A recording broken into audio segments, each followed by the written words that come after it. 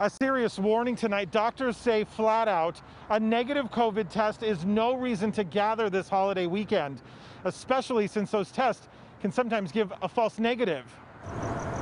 Tonight, 194 COVID patients are in the hospital at LA County USC Medical Center, a place Ruby Hernandez doesn't want to end up. I have a bit of a cough, but it's not too bad.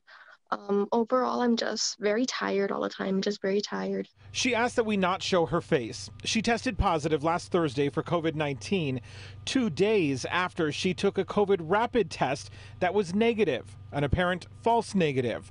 She went to work in her office for those two days thinking she was in the clear. But then this email came with her second test results from a PCR test. She was positive. She says she felt terrible for unknowingly exposing her coworkers. And I showed them, and they I will never forget the look on her face. Like she kind of like, what? What?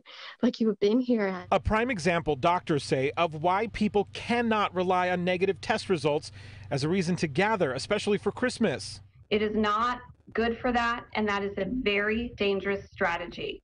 You can turn positive at any point. Tonight in LA County, there's a total of 5,709 COVID patients in the hospital, and ICU care is all but maxed out. Dr. Brad Spellberg is the chief medical officer at County USC Hospital and says these tests are not always accurate. The COVID test misses cases. There's no question about it. Best estimate is it'll pick up about 80% of cases, which means it misses 20% of them. Hernandez says she'll be isolating for Christmas and says you should too.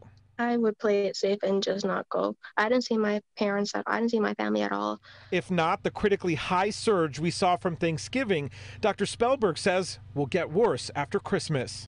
There will be no way for us to handle that surge of patients. Dr. Spellberg says the best way to protect yourself right now is to assume everyone is COVID positive. Keep your distance and cover your face. Reporting in Boyle Heights, Rick Montanez, KCAL 9 News.